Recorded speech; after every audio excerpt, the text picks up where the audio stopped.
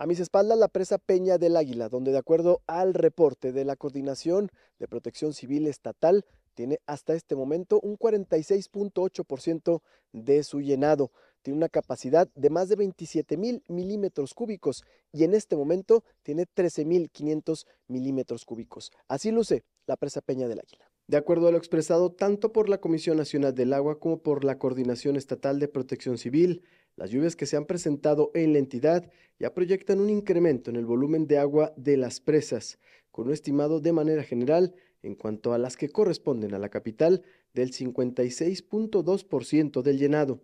En el caso específico de la presa Lázaro Cárdenas, que tiene una capacidad de 2.770.510 milímetros cúbicos, actualmente tiene solo un 18.3% de llenado, en comparación con la presa Francisco Zarco, con una capacidad de 309.236 milímetros cúbicos y en este momento está a un 42% del llenado.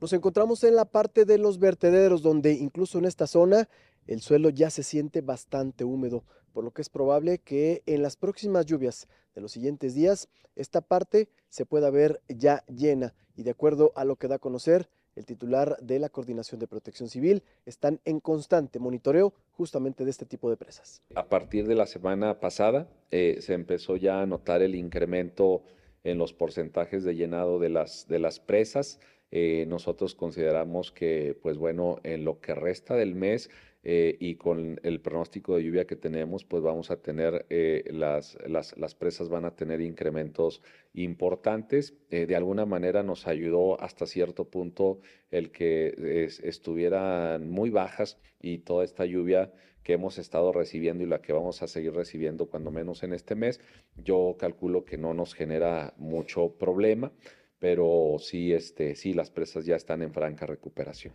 De esta manera se prevé una temporada de lluvias que generará una importante acumulación de agua para dichas presas, lo que significa que el sector agrícola y ganadero podrán contar con el líquido vital para los próximos ciclos en caso de que volvamos a padecer una sequía como la del año pasado.